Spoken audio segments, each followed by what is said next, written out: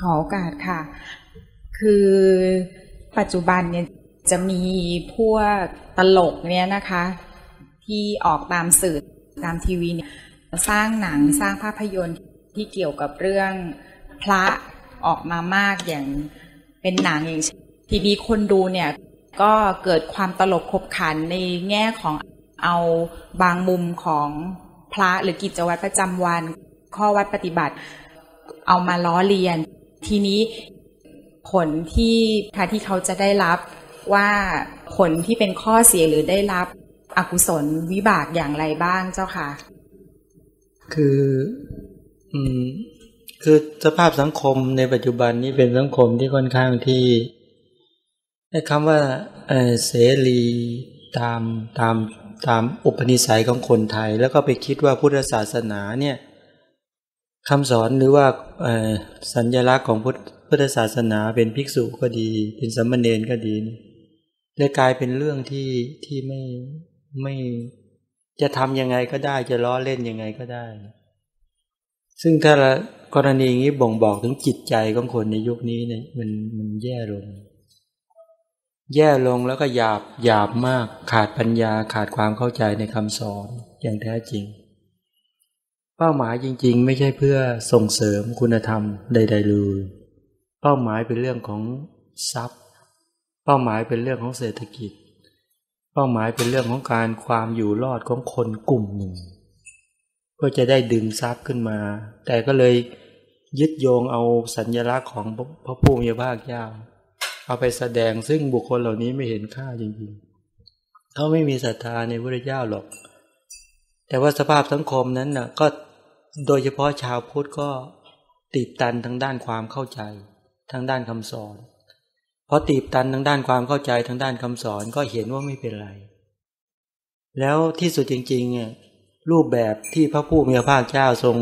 บัญญัติให้ภิกษุ ให้สัมมาเนนให้อุบาสกอุบาสิกาทรงใช้สอยเนี่ยเนี่ยเพื่อจะนั้นก็ถูกเอาไปล้อเลียน ให้เป็นเรื่องตลกขบขัน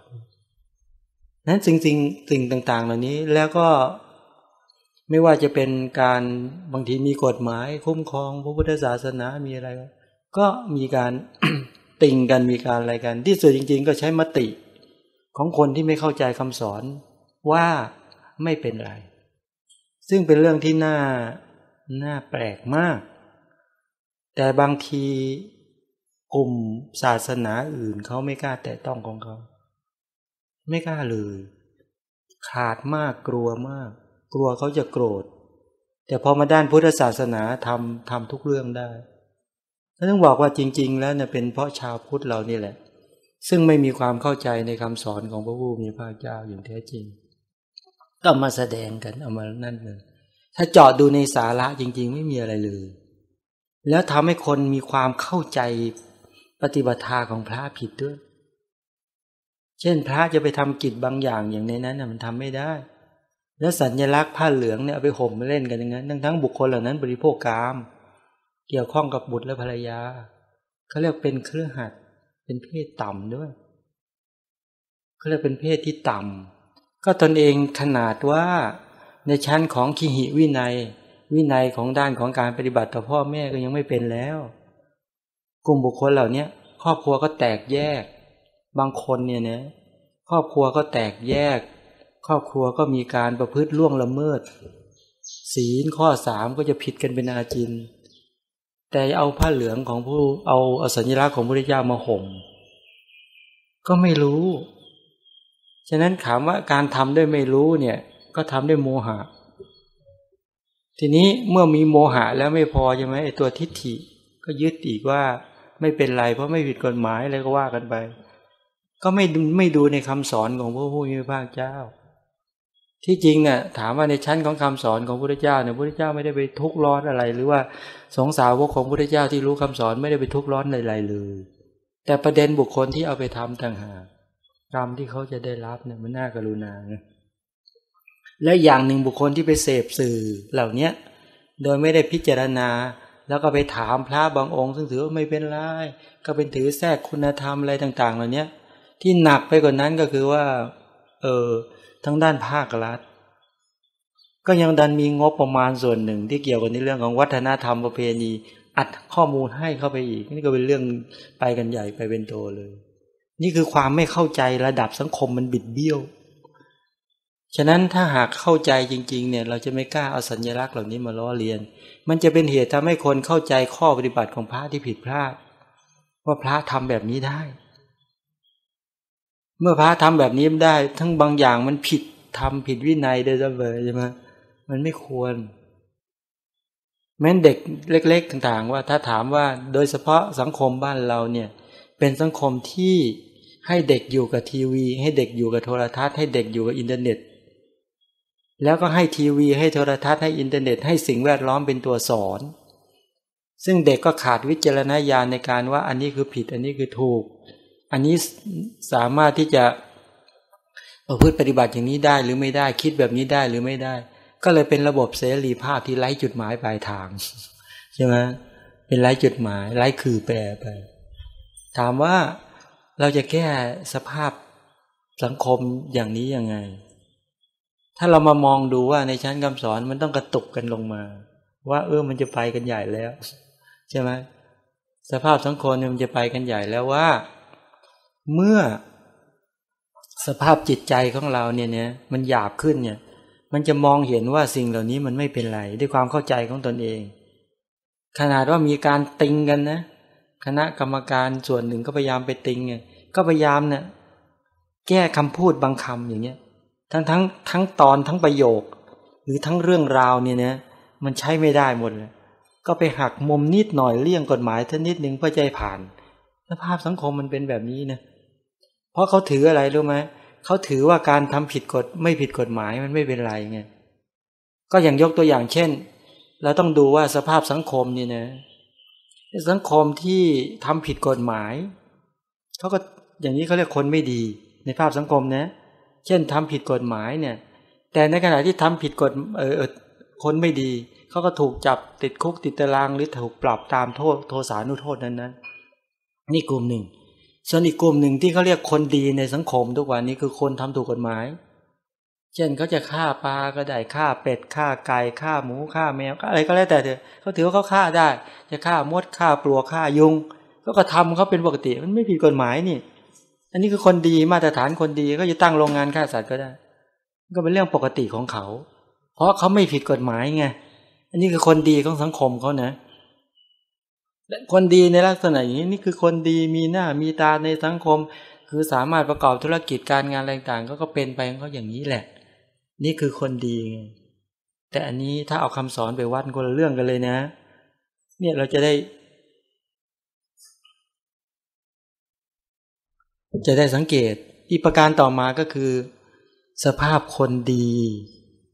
ในสังคมที่ว่าเข้าวัดฟังธรรม กลุ่มบุคคลเหล่านี้ก็เออ ถือว่าไม่เป็นไร แต่ว่าสัตว์ใหญ่อย่าไปฆ่านะ สัตว์เล็กๆไม่เป็นไรหรอกตบยุงบ้างจะมดบ้าง ก็มันกัดแล้วอะ จะพูดโกหกบ้างอะไรบ้างก็ไม่เป็นไรใช่ไหมจะเสียสัจจะบ้างก็ไม่เป็นไรหรอกใช่ไหมเพราะเราก็คนดีเนี่ยคนเข้าวัดเข้าวานี่อย่างเงี้ยนะ อย่างนี้เป็นต้นซึ่งเนี่ยลักษณะอย่างเงี้ยเพราะก็คนดีนะเนี่ยจริงๆนั่นใช่ไหม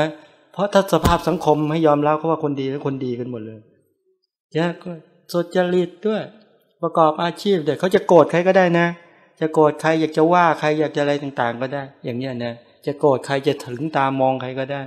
จะชี้หน้าว่าใครก็ได้ในในในคอนโทรลตนเองที่ดูแลอยู่เนี่ยได้ แต่นี่คนดีมีศีลว่างั้น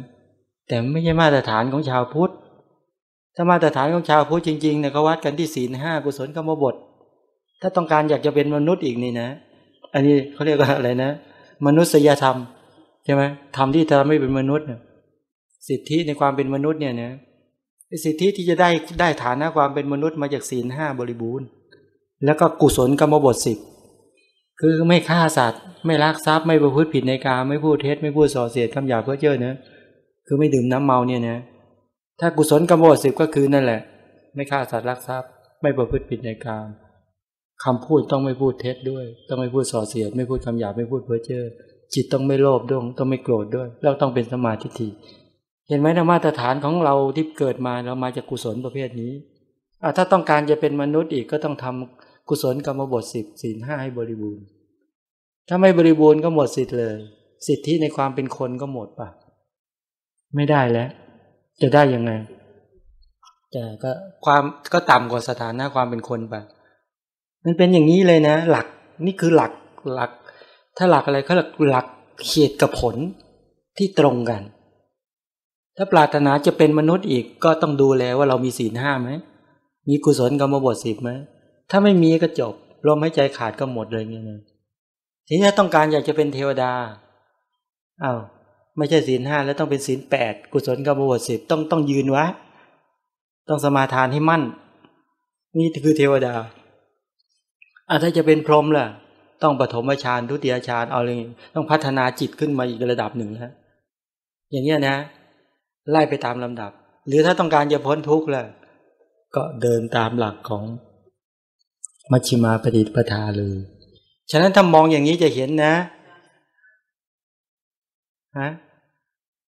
ศีลห้ากุศลกรรมบทสิบต้องกำกับด้วยว่าจีสุจริตสี่ไม่พูดเท็จ ไม่พูดส่อเสียด ไม่พูดคำหยาบ ไม่พูดเพ้อเจ้อคำว่าไม่พูดเท็จเนี่ยก็คือ ก็คือมีสัจจะวจีสัจจะนั่นเองบอกเออเห็นบอกว่าไม่เห็น อย่างนี้ขาดวจีสัจจะนะไม่ได้ยินบอกว่าได้ยิน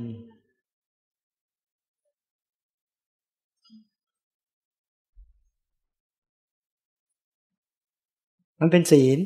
นี่วจีสัจจะแต่ว่า แต่ว่าตรงนี้ก็ต้องไป ไปพิจารณาหลายๆส่วนนะ กรณีที่บอกว่าเออคนบางคนเขาจะใช้คำพูดดดูแลศีลตัวเอง